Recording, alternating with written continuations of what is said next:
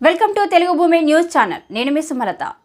హుజురాబాద్ నియోజకవర్గంలో ration card ఉండి దళిత బంధు రాని వారు రేపు సాయంత్రంలోగా హుజురాబాద్ క్యాంప్ ఆఫీసులో మీ అప్లికేషన్స్ ఇవ్వగలరని రాష్ట్ర ప్రభుత్వ విప్ అండ్ ఎమ్మెల్సీ హుజురాబాద్ నియోజకవర్గ బీఆర్ఎస్ పార్టీ ఇన్ఛార్జ్ పాడి కౌశిక్ రెడ్డి అన్నారు. హుజురాబాద్ నియోజకవర్గ దళితుల సోదరులందరికీ కూడా నా నమస్కారాలు. ఇలా గౌరవ ముఖ్యమంత్రి కేసీఆర్ గారు దళిత బంధు ప్రాజెక్ట్ అనేది పైలట్ ప్రాజెక్ట్గా హుజరాబాద్ నియోజకవర్గంలో తీసుకోవడం జరిగింది.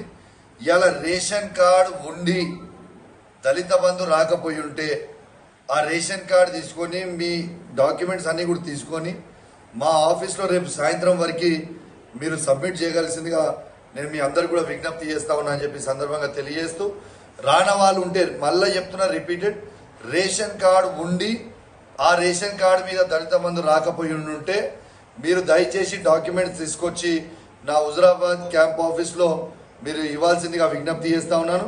ఎందుకంటే నేను పన్నెండు తారీఖున రెవ్యూ మీటింగ్ కరీంనగర్లో మంత్రి గారి ఆధ్వర్యంలో నేను మంత్రి గారు కలిసి ఇవాళ కలెక్టర్ గారితో రివ్యూ మీటింగ్ పెట్టిన. అంత లోపల మీరు ఇస్తే ఆ రివ్యూ మీటింగ్లోనే మీ అన్ని కూడా శాంక్షన్ చేపిస్తా అని చెప్పి ఈ సందర్భంగా మీకు తెలియజేస్తా ఉన్నాను.